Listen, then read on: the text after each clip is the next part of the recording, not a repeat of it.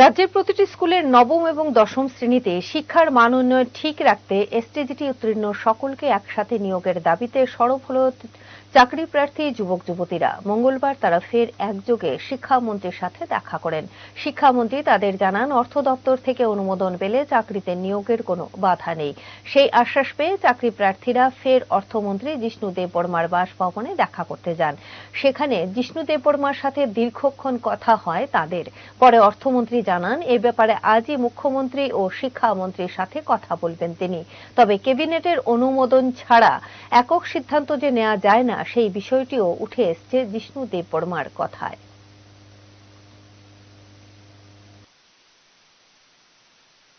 হ্যাঁ ওরা তো কষ্ট আছে, ওরা মনের কষ্ট বলতে আসে। আমাদের দেখতে হবে বসবো আমি দেখি। এডুকেশন মিনিস্টার মুখ্যমন্ত্রীর সঙ্গে কথা বলব আমি কি করা যায়। ওদের একটা ধারণা দেয় ফাইন্যান্স মিনিস্টার ইচ্ছা করলে সব কিছু করা যায়, এটা তো হয় না। মন্ত্রিসভা চলে একটা কি কালেকটিভ ডিসিশন দিয়ে না? সম্মিলিত একটা ডিসিশন নিয়ে মন্ত্রিসভা চলে এটা তো আর ফাইন্যান্স মিনিস্টার বা এডুকেশন মিনিস্টার বা এই মিনিস্টার সেই মিনিস্টার দিয়ে হয় না এটা কালেকটিভ ডিসিশন নিতে করতে হয়। এমনি শিক্ষামন্ত্রী পলিসি পলিসি ম্যাটার না এটা? পলিসি ম্যাটার তো কালেকটিভ ডিসিশনে চলে। ডিপার্টমেন্টাল কি বলে রেগুলার ম্যাটারগুলি যে কি বলে যেগুলি করা যায় এটা করা যায় বদলি তদলি এটা হয় বুঝছ না? রুটিন ম্যাটারগুলি হয় মন্ত্রী দিয়ে কিন্তু পলিসি ম্যাটার তো ক্যাবিনেট লাগে।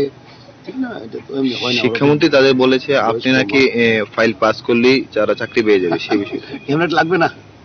এটা তাদের তারা তাদের ধারণা হয়েছে এটা ঠিক আছে। মানুষের কষ্টে থাকলে কত ধারণা হয় না। কষ্টের দুঃখে আছে পরীক্ষা দিয়েছে পাস করে চাকরি পাচ্ছে না। মানুষের থাকে মনে কষ্ট। বিষয়টা বয়সও কম হচ্ছে না? আমরা আজকে সকালে রতনসারি বাড়িতে গিয়েছিলাম। ওনার কাছ থেকে আমরা স্পষ্ট আশাবাদী হয়েছিলাম যে আমাদের অর্থ দপ্তরের মন্ত্রী শ্রদ্ধেয় জিষ্ণুদেব বর্মান স্যার যদি আমাদের অ্যাপ্রুভেল দিয়ে দেয়, আমরা সবাই একসাথে রিক্রুটমেন্ট হব। এর পরিপ্রেক্ষিতে আমরা আজ সকালে ওনার বাসভবনে এসে- এসেছিলাম এবং ওনার সাথে দেখা করেছিলাম।